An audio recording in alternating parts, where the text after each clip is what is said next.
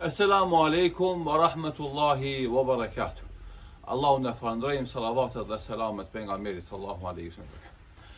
Secili prej nesh ballafaqohet në jetën e përditshme me njerëz të cilët ose i ka afër në familje, ose i ka pak ma larg familjes, apo i ka në komshillëk edhe i ka në mesin e popullit dhe vendit ku ai jeton.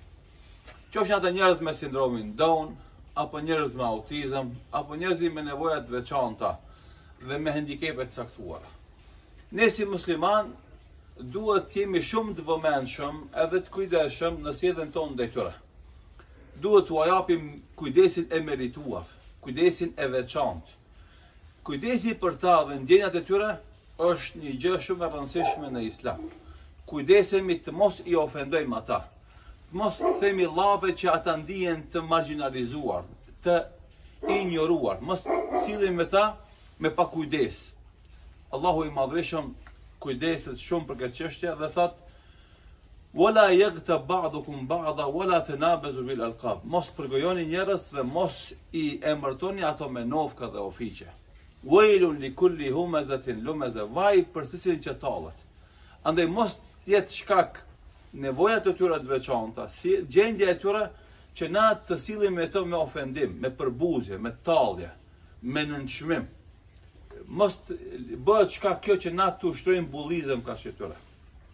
Përkundrazi, ne duhet të kujdesemi për to, të tregojmë mëshirë ndaj tyre, të tregojmë dhembshuri karshi tyre, të tentojmë që sjellja jonë me ta, t'u jep atyre ndjenja të barazisë, të sjelljes normale me to, t'i ngrit ata në pozitë në shoqërinë tonë. Dhe kujdesi jonë për to, është ajo që ata i bën krenarë dhe i bën të ndihen si njerëz të zakonshëm dhe të rëndomtë në mesin tonë.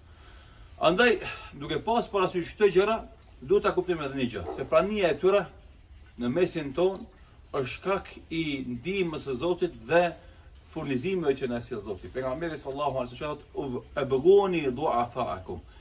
Mi sillni të dobëtit nga mesi juaj.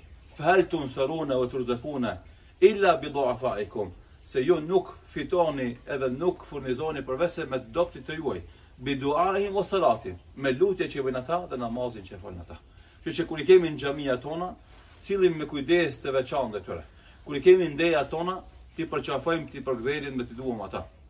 Kështu që të shfrytëzojmë çdo rast edhe situatë që t'u japim vëmendjen e duhur dhe t'u tregojmë se ata nuk janë, do të thotë, njerëz që kanë nevojë të trajtohen ndryshe, por janë sikurse na.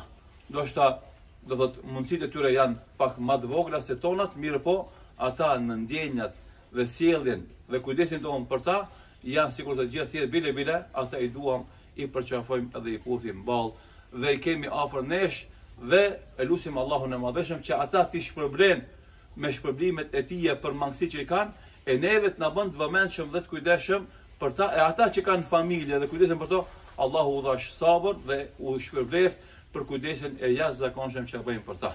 Andaj të jemi të vëmendshëm dhe të mos e keqpërdorim situatën, e sillemi keq me ta, e pastaj do thotë të ndëshkohemi nga Allahu e të humbim bereqetin dhe shpërblimet e Allahut të gjera. Zoti ju shpërbleftë, dhe selamu alaikum wa rahmetullahi wa barakatuh.